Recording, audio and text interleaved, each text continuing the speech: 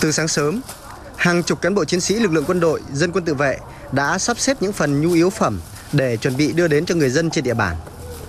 Theo đó, những đối tượng được hỗ trợ là những hộ nghèo, hộ cận nghèo, các cư dân đang sinh sống trong các khu nhà trọ, khu vực bị phong tỏa. Mỗi phần quà được đưa đến cho người dân sẽ gồm 20 quả trứng,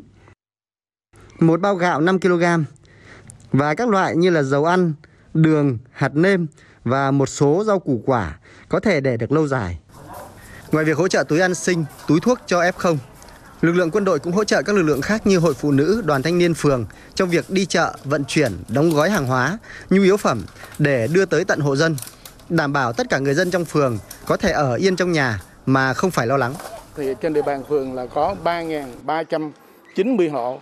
thuộc diện là khó khăn, lao động tự do, công nhân rồi sinh viên trên địa bàn thì phường cũng đã là sẽ à, tổ chức chăm lo cho toàn bộ số này. Trên địa bàn phường 21 là vùng đỏ nên là không có phát phiếu đi chợ mà sẽ tổ chức toàn bộ là đi chợ giúp dân. Thì phường cũng đã giao cho Hội Liên hiệp Phụ nữ, đoàn thanh niên với lại bộ đội sẽ hỗ trợ cho các người dân trên địa bàn là đi chợ và phát tới từng hộ dân luôn.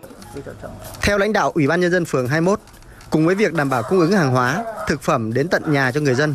từ nay đến ngày 6 tháng 9, phường cũng tập trung vào việc chăm sóc y tế cho những ca F0 và với sự hỗ trợ của lực lượng quân đội, công an và các cơ quan liên quan, toàn hệ thống chính trị của phường sẽ tập trung thực hiện nghiêm giãn cách xã hội để chống dịch hiệu quả.